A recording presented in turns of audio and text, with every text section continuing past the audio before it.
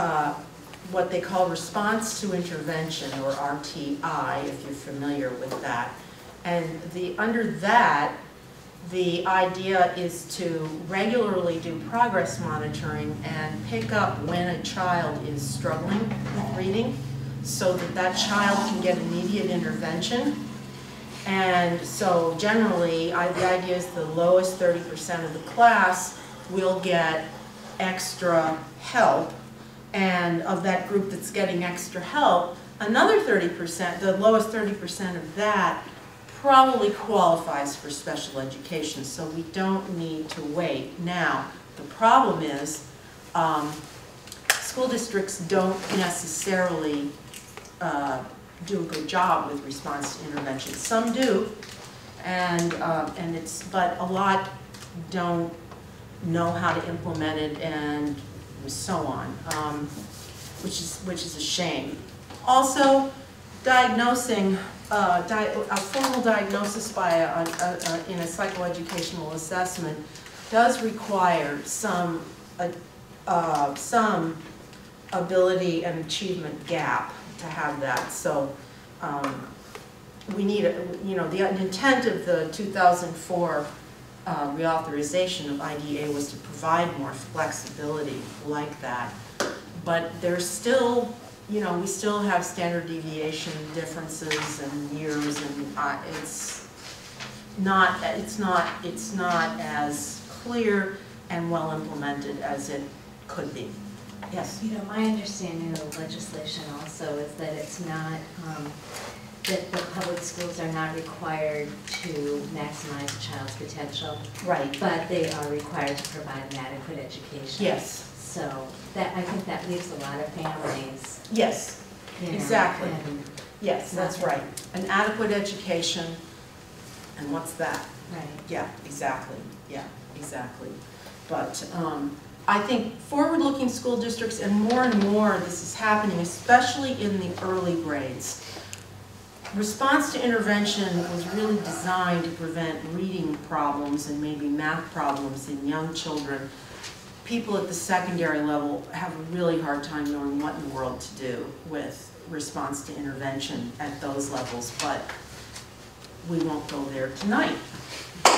Um, so, um, Reid Lyon, who uh, was the, who sort of the, was the head of the National Institutes for Child Health Development, who conducted a 30-year study of, um, of children, prospective study with 40,000 children in in 45 countries, or 35,000 children in 40 countries with fMRIs and for years, so that he was able to determine, uh, uh, he and, and a host of researchers were able to really determine what, uh, what good readers do, what happens to poor readers, uh, what's going on in their brains, what effective intervention is and what ineffective intervention is by following these children over the years.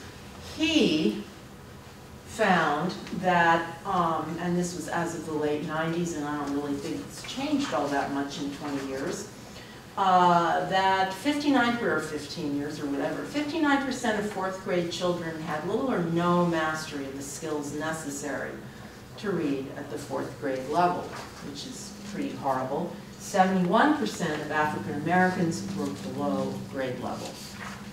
Um, and so that's, uh, that's a crisis. That was Um, in California. And California, this is California, and this was basically, this was looking, I think, at California. Uh, Eighty-one percent of Hispanics were below grade level in reading, twenty-three percent of Asians were below grade level of reading, and forty-four percent of white students. One of the things, guess what California legislated back in the late eighties? California mandated by law, schools had to, uh, had to use a whole language approach to teaching reading and writing. Now, I, whole language you know, we need whole language in some areas. It, it promotes imagination, it provides rich literature experiences, but it do, as it is, has been implemented in the United States, it does not provide careful, scientifically based reading instructions. So what happened to California was the reading scores just like fell off a cliff. So right away, you know, so then the legislature had to redo that, and now they're supposed to teach phonics and things like that. But uh, in the meantime, just, you know, millions of children, school children, suffered because of a belief system that just simply wasn't correct.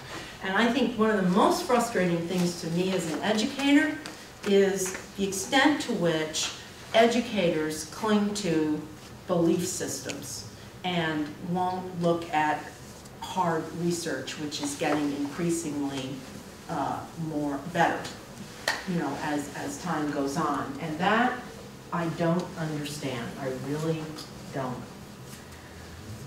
Um, yeah, and the other thing that happened uh, as a result of this, 49% of fourth grade children were reading below basic levels, and they came from homes where parents had graduated from college. So this would be from enriched language uh, background. Um, and, you know, we've got fairly dismal, uh, we continue to have fairly dismal uh, reading scores um, on our National Assessment of Educational Progress, though the fourth grade level has gone up some. What we're not seeing is enough growth in the eighth and 12th grade levels. So that's, um, so consequently, we're working really hard to improve our adolescent literacy programs for older students. Um, and um, what, uh, what, what happens, you know, again, when you look at the outcomes of people who don't learn to read, what you see is, you know, if you look at our prison population, probably as much as seventy percent of them have a learning disability and don't, uh, can't read well. And, uh, and, you know, and, and, and, and then many of those, uh, and I would suggest that the other thirty percent probably have ADHD with a conduct disorder, you know, so anyway, the consequences, economic consequences of uh, failure to learn to read are severe. It, it, and that's because our, our economy, you know, we have an information age economy. A hundred years ago, not such a big deal if you didn't learn to read, you know. And uh, for many, many years of human history, reading was really not required to be able to earn a, a, a sustainable living, but it is now. And so consequently, we're, um, we're, uh, we're facing a huge challenge. Um, and um, I actually didn't really know this, but southern states are planning for future prison growth by looking at illiteracy rates in middle school students. Um, so, you know, we have, uh, it's a situation not unlike our healthcare situation, that, you know, we, we want, we, we, we ought, we want to look at spending a few dollars for primary care and primary intervention as opposed to lots of money down the road for the consequences of uh, poor health, obesity, and, you know, similarly not learning to read. So, um, the next question, of course, gets to be is, how do we, who's at risk for dyslexia? How do we know? Well, dyslexia does, turns out to have a significant genetic component. So if uh, a child has a family history of delayed speech and language development or relatives who have been, who have had difficulty learning to read, um, then there, there's a higher likelihood that uh, a child will inherit that. Because this is a genetically, uh, this does transfer by genes, and the genes have been even located in the Human Genome Project. If, though, uh, there's a child who by age four cannot rhyme, cannot come up with, uh, you know, cannot pick out a word, you know, when given a choice, what rhymes with ham, and then, you know, uh, fat, fan, Sam, and they can't pick that out, that's a